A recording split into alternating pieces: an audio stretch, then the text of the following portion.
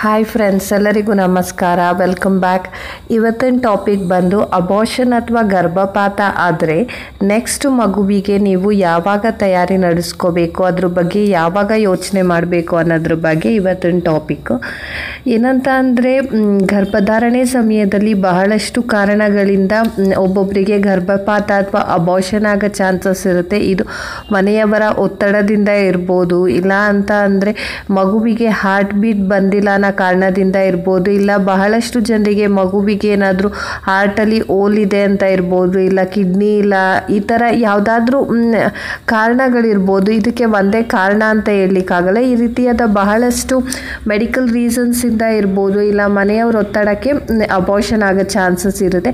ಇಂಥ ಸಮಯದಲ್ಲಿ ನೀವು ಅಬಾಷನ್ ಆದಾಗ ನೆಕ್ಸ್ಟು ಮಗುವಿನ ಬಗ್ಗೆ ಯಾವಾಗ ತಯಾರಿ ನಡೆಸ್ಕೋಬೇಕು ಅಂತ ಅಂದರೆ ಮಿನಿಮಮ್ ಆರು ತಿಂಗಳಿಂದ ಒಂದು ವರ್ಷಗಳ ಬಗ್ವರೆಗೆ ನೀವು ಇದ್ರ ಬಗ್ಗೆ ಯೋಚನೆ ಮಾಡಬೇಡಿ. ಯಾಕಂತ ಅಂದರೆ ನಿಮ್ಮ ಬಾಡಿ ಇದಕ್ಕೆ ತಯಾರಿಯಾಗಿರಬೇಕು. ಆ ಟೈಮಲ್ಲಿ ನಿಮಗೆ ತುಂಬಾ ಬ್ಲಡ್ ಹೋಗಿರುತ್ತೆ. ಮತ್ತು ನಿಮ್ಮ ಆರೋಗ್ಯ ಸ್ಥಿತಿ ಸುಧಾರಿಸಬೇಕು. ಆದ್ದರಿಂದ ಮಿನಿಮಮ್ ನಿಮಗೆ ಆರು ತಿಂಗಳಿಂದ ಒಂದು ವರ್ಷದವರೆಗೆ ಕಾಲಾವಕಾಶ ಬೇಕು. ಇನ್ನೊಂದು ಮಗುವಿಗೆ ಗರ್ಭ ಧರಿಸಲಿಕ್ಕೆ. ಸೊ ಅದಕ್ಕಿಂತ ಮುಂಚೆ ನೀವು ಮಾಡ್ಕೊಂಡ್ರಿ ಅಂತ ಅಂದರೆ ನಿಮಗೆ ಅಪಾಯ ಆಗೋ ಚಾನ್ಸಸ್ ಜಾಸ್ತಿ ಇರುತ್ತೆ. ಆದ್ದರಿಂದ ದಯವಿಟ್ಟು minimum six months to one year ನೀವು ನಿಮ್ಮ ಆರೋಗ್ಯವನ್ನು ಚೆನ್ನಾಗಿ ಸುಧಾರಿಸ್ಕೊಂಡ್ರೆ. ನೆಕ್ಸ್ಟು ನೀವು ಗರ್ಭಧಾರಣೆಗೆ ಯಾವುದೇ ರೀತಿಯಾದ ತೊಂದರೆ ಇಲ್ಲದೆ ತಯಾರಿ ಆಗ್ಬೋದು ಸೊ ನೋಡಿದ್ರಿ ಅಲ್ವಾ ಎಷ್ಟು ದಿನಗಳ ಕಾಲಾವಕಾಶ ಬೇಕು ಮತ್ತು ಈ ರೀತಿಯಾಗಿ ಮಾಡೋದ್ರಿಂದ ಏನಾಗುತ್ತೆ ನಿಮ್ಮ ಗರ್ಭಕೋಶ ಕೂಡ ಹೆಲ್ತಿಯಾಗಿ ಇರುತ್ತೆ.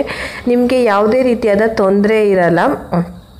So minimum six months to one year ನೀವು ಗ್ಯಾಪ್ ಕೊಡಲೇಬೇಕಾಗುತ್ತೆ.